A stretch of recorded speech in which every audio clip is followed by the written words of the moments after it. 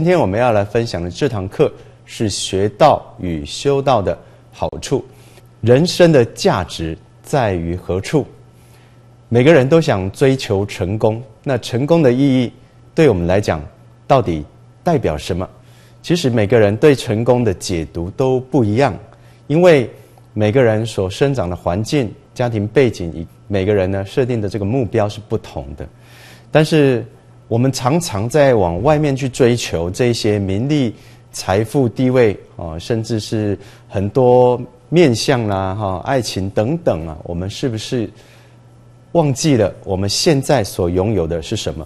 这两天我们的枢纽大德呢，也在我们两天的课堂一开始，给大家一把的钥匙，打开心灵的钥匙。我们就是要利用这一把打开心灵的钥匙，来开启我们生命中的宝藏。特别感谢白洋电视台也提供了我们一段访谈的影片。那平常呢，他很热心的服务。那在他早期也参加过很多的这种。行业以及训练，那在几年前，他曾经呢去参与过教育训练，担任教育训练讲师，而且他执行了非常成功啊！在他担任这个企业讲师的过程之中呢，他和各个不同的单位合作，也创造了自己一个非常辉煌的一段这个算是历史吧啊！但是呢，在得到了这一些他所想追求的这些财富和地位的同时，他也面临到了。他人生没有办法去想象，非常疑惑的一个问题，就是他的身体呢出了一些状况。那据他描述啊，当时他在做这个教育训练的时候呢，这个市场非常的热络，也因此呢导致他呢有这个机缘。那到底详细的情况是如何呢？我们现在就邀请大家，我们共同来欣赏这一段的访谈。那这个这个市场的需求量是很大。很大。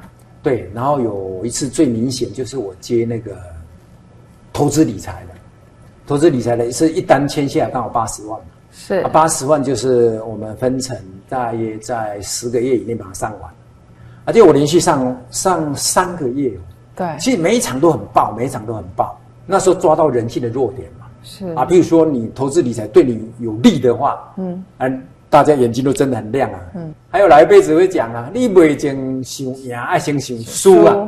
所以这些话，但年轻人的话都听不下去了，哎，听不下去了。说这个是老老老一辈的经验啊，对对对，不要小所以上了三个月整整，嗯，啊，每一场都很棒。我看到上完之后，很多人就是从他的包包里面提出来，都是现金哦。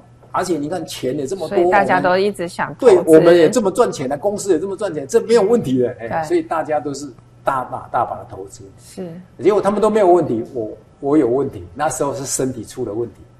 那时候我到晚上十二点的时候，嗯，就两长短针要两只要叠在一起的时候，我的心悸心悸很严重哦，那快要快要休克那种感觉，胸闷了，对，胸闷，吸不到气。最苦的就是求不得苦，我们常常要要求这个，我们要追求那个，但是我们在追求的过程之中得不到，求不到，然后我们自己就产生了堕入了一个非常呃罪恶的一个悲观的一个循环，啊，让自己失去信心，失去信念，啊，往往就是因为我们的欲望让我们要去追求我们所要的这个东西，但是又得不到。在历史上，我们非常有名的哈，我们知道六祖慧能他后来做了一首诗，一首偈：菩提本无树，明镜亦非台，本来无一物，何处惹尘埃？这是一个修办道非常深的一个境界，因为已经不会透过我们的眼、耳、鼻、舌、身去感受这个世界，甚至是透过我们的意识以及更深的。阿赖耶识、摩那识，去真正的看见，啊，我们所看到的这个世间的一切人事物。那进入这样的境界之后呢，啊，正如《清净经》里面所言呐，所看到的东西都已经超乎他原本在人生中所学习到的知识，而是真正用自己的真如本性来看这个世界。因此，观空亦空，空无所空，所空即无。无亦无，无即无，湛然常寂，寂无所及，欲岂能生？欲望不会生啊！欲既不生，即是真境，真常应物，真常德性，常应常静，常亲近你。如此，我们的心就进入到亲近。但是后学想要跟大家分享的是，其实神秀大师啊，他所做的这一首偈，更适合我们现在进入初步的修办道的这些家人呢，一起啊来体验。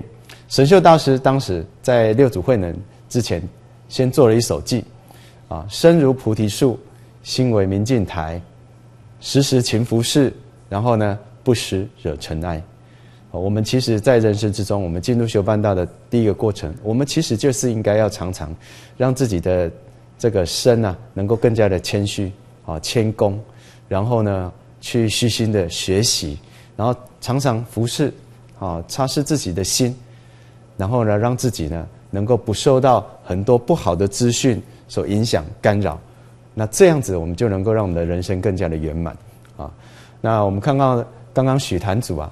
啊，就是因为他非常的非常的执着，希望能够创造成就，以此因此他跟了这个他本身也认为不好的这样一个团体一个团队呢搭配，然后来吸金，做一些其实是违反一些道德仁义上的这项事情，然后获得一笔非常大的财富。